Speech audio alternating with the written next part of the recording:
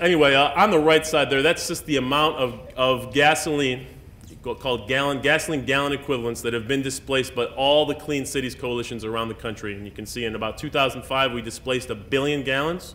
2007, I think we hit about 2 billion, and we're slowly making progress towards 3 billion. That's, again, there's 86 coalitions around the country that do the same work that I do, which means that I am a great resource for you, or for your city, or for your city fleet manager, and that's what I do. I am a resource. Okay? Time for the right button. Okay. Here's the breakouts. Uh, I'm not, I don't want to spend too much time on this. I think the stuff's pretty obvious. Um, these are heavy-duty vehicles. On the bottom, it says where the data came from, and that's a, that's a lie. It's a mistake. It's not a lie. It's a mistake. There's a difference, I think, right? Uh, this data actually came from the city of Lakewood. This is Lakewood's estimates on how much, how much idling their refuse trucks do. And we, I know this because I helped them, I helped the city of Lakewood apply for a grant to retrofit their refuse trucks with what's called a diesel particulate filter. This was free money from the federal government to help them retrofit the mufflers, basically, so that, so that they don't pollute so much. Um, but that's how we found that data out. They estimate about four and a half hours a day spent idling. So I, I'll, I will go through once and find the laser on this thing. And that's just a regular pen. Here we go. All right. Okay. So basically, you can see annual idling 1,200 hours, that's based on 260 operating days per year, which is basically, well, is, is five days per week at 4.6 hours a day. So the fuel consumption for a typical heavy-duty truck, what's a heavy-duty truck?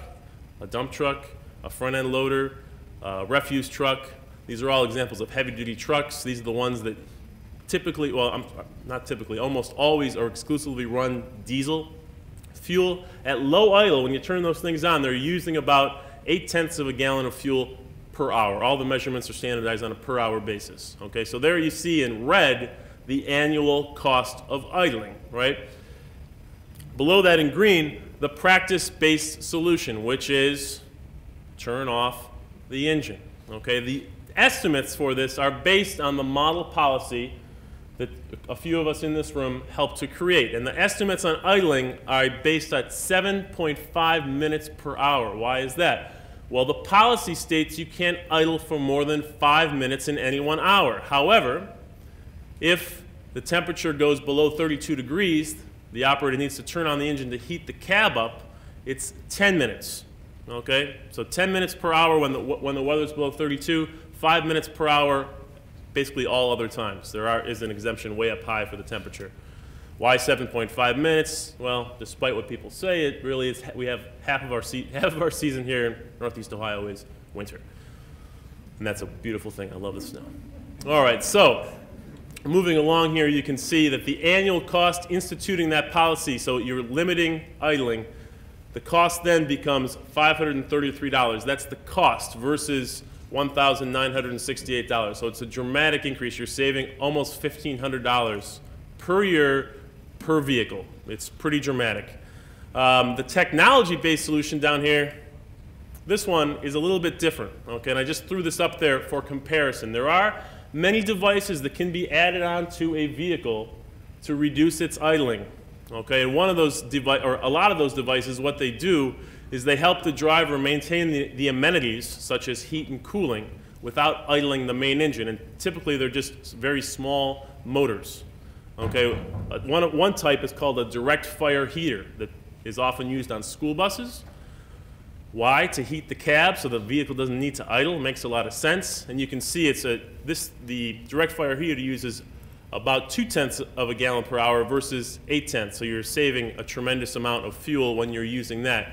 So we just plug the numbers from the top into the bottom here, and that right there, APU stands for auxiliary power unit. Those of us in this industry, that's how we, that's kind of what we refer to this category of devices, auxiliary power unit. It's a device that allows the driver to maintain amenities without using the primary engine. Okay, it's called an APU, auxiliary power unit. So there, there you can see. Not much of a difference between these two numbers. What I would stress is there's no money involved with educating your drivers to turn off their engine. This, you're talking about somewhere between $600 and $1,000 per vehicle, but I'll make this announcement loud and clear. I hope everyone can hear me because I'm going to be talking about money now. There is a lot of money available right now from the state of Ohio and from the federal government to help you or your city retrofit their fleet to, to purchase devices like this direct fire heater or a diesel particulate filter, all sorts of things. Anything that basically reduces diesel emissions. There is a ton, a ton of money for right now, uh, more than there's ever been in the history of the state. So there's a lot of money out there. And if you need help taking advantage of it, please come talk to me and I can help you out. So I've got one more slide here. I hope I can get this right. This sec, oh, you know what? I see. I add, forgot I added these little things in here. Well, that is fun. Woo! Okay.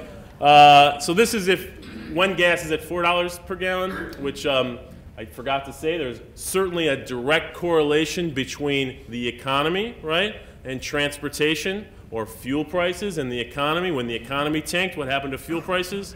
They tanked. When the economy comes back, fuel prices, and there's probably going to be even more constraints on fuel prices if any kind of carbon cap and trade, CO2 cap and trade comes around. There's going to be even more constraints or additional fuel taxes. All these things are possible. So $4 per gallon gas obviously really enhances the equation here. Boy, I'm not too good at this. Uh, you can see it, this bottom one, you're, you're, we went from saving $1,500 to saving almost $3,000. So I mean, it's, and that's per vehicle per year a city like Cleveland that probably has about 100 or so of these, probably more like 100, maybe 200 of these kind of vehicles. 200 times 5,000 or 4,000. Anyone want to do the math on there? Two times four, 80, $800,000. That's almost a million dollars. It's a dramatic, dramatic, dramatic change. So I got one more slide for you here, folks. You can see people giving me the hook face.